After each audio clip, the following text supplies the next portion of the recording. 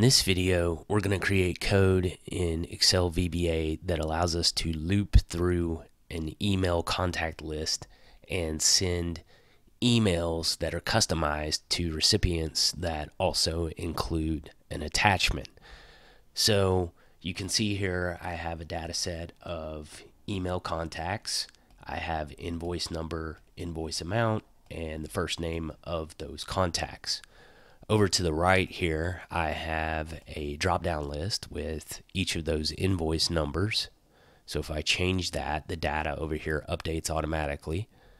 You can see I have a VLOOKUP that just pulls in the amount based on the invoice number. I have another VLOOKUP that pulls in the first name of that contact based on this number. I have a customized message that pulls from up here to get that person's first name that just says attached is your invoice. That is our email message.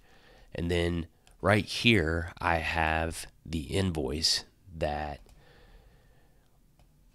will, with our code, get saved as a PDF to our network drive. And then that PDF that gets saved will ultimately get attached to the email that goes out. So there's really not much to this invoice. I have a formula here that pulls in to today function. I have a formula here that is just simply linked to the drop down selection menu here and then formula here that is linked to this corresponding amount. So ultimately what we're going to do is create a loop that loops through each one of these invoice numbers in our drop down list and all of these formulas are just linked to this cell here and it generates different email messages as well as different invoices that get saved and then attached to the emails. So before we look at the code here, I do want to run through this message here that's going to be our email message. So I'm going to delete this out and this is a merge cell. So I just clicked on this entire range, went to merge and center and aligned it left and made it middle alignment vertically. So it's going to be a combination of some text and cell reference so I'm going to begin with text, the word hello, space. I need to come outside of that text, so I'm going to end it with a double quote using the and symbol to join it to this first name here. I'm going to use another and symbol to join it back to text, so reopen the double quotes, a comma, and then I want to come down a few lines, so I'm going to hit Alt Enter twice and just say attached is your invoice for services rendered. It was a pleasure to serve you. I want to come down a few more lines. So I'm going to hit Alt Enter again. Alt enter one more time.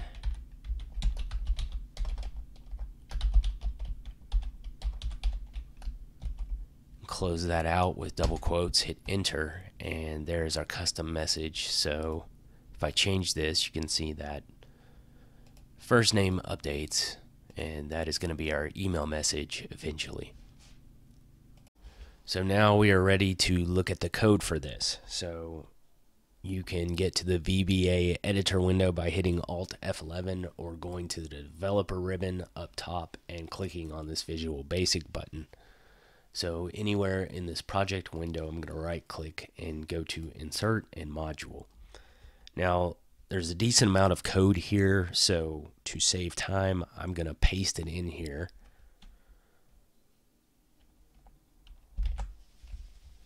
And one thing that you absolutely must do for this to work is to go up to Tools and References and make certain that Microsoft Outlook 16 Object Library is checked.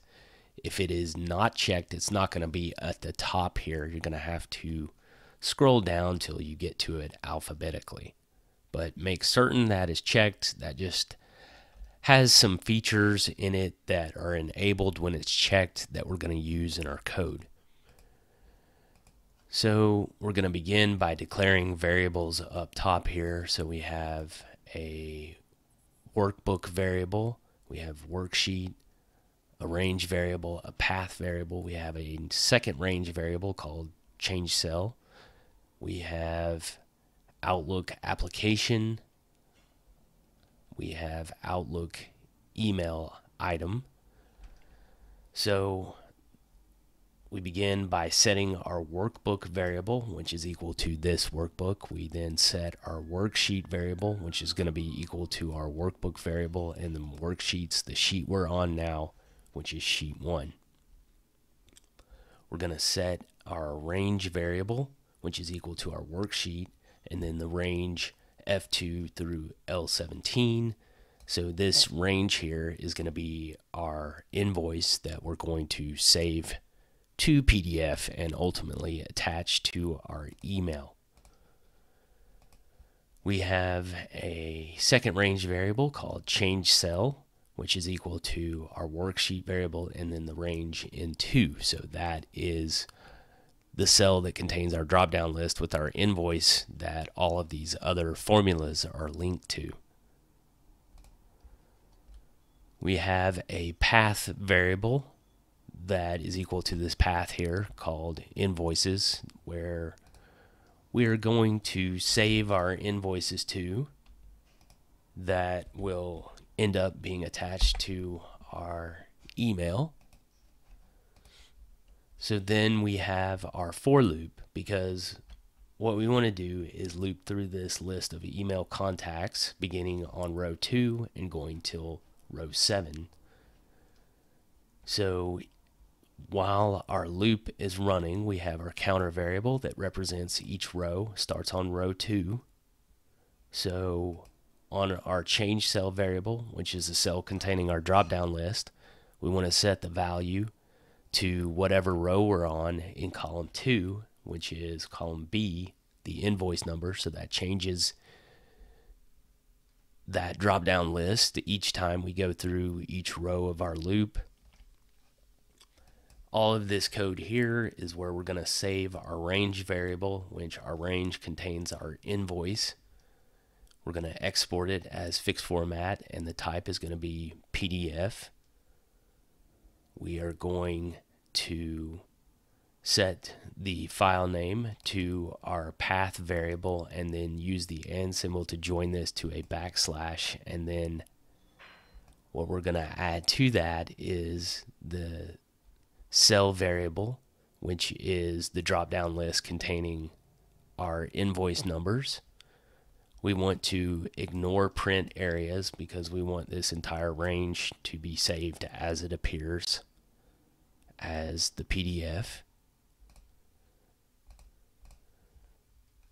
So at this point, we need to set our Outlook app variable, which is a new instance of the Outlook application. That's just Outlook as a whole. And then once we have set that, we're going to set our Outlook email variable, which is equal to our Outlook application, create item, and then create Outlook mail item. So with our email variable, we want to do multiple things. So we have a with statement so the first thing we want to do is set the to recipient to our worksheet variable and then cells for the row input. That's going to be equal to our counter variable. It begins on row 2 in column 1 because that contains our email contacts.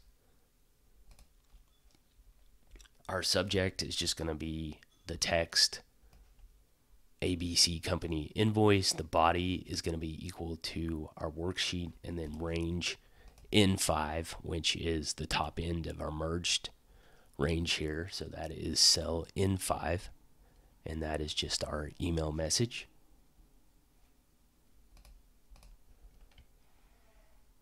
Our attachment to the email, we're going to reference keyword attachment and then add method, and then we need to provide a path. So we have the path variable, but our path variable is just the folder containing the PDFs. So we're going to use the and symbol to join this to a backslash and then reference our change cell, which is the drop down list cell that contains each invoice number. We want to get that value and then use the and symbol to join dot .pdf extension onto that. So that retrieves whatever invoice we're currently on in our drop down list um, from that path. And then finally, at this point, we could send the email, but what I strongly recommend is just using display because it will just generate the email with the message, subject, recipient, and attachment without actually sending it. I think it's just safer that way to do that just so you can look at it and make sure it's correct and then at that point send it yourself. So we're done with everything with our email item. So at this point, we can end our with statement. We're still in our for loop. So it started out on row two, did all of these things. Then we say next counter.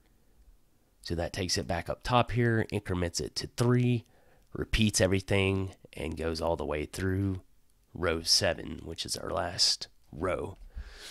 So at this point, I'm going to hit play here.